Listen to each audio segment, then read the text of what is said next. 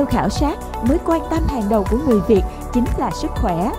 Khi bạn không khỏe vì bệnh tật hoặc tai nạn, cần phải điều trị nội trú, chi phí điều trị thì tăng, trong khi thu nhập lại giảm. Giờ đây, hãy an tâm điều trị, viện phí đã có AAA lo. Hãy cùng nhau khám phá quyền lợi ưu việt của sản phẩm này nhé. Với hai chương trình cơ bản và nâng cao quyền lợi bảo hiểm của sản phẩm vô cùng đa dạng và cạnh tranh trên thị trường.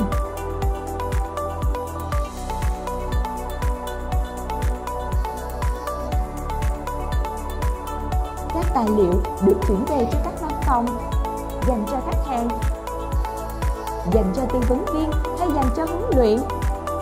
Hãy liên hệ AD và AT tại địa phương để biết thêm chi tiết các bạn nhé sản phẩm bảo hiểm nằm viện và phẫu thuật, chìa khóa vàng tiếp cận khách hàng, tiếp cận khách hàng ngay hôm nay.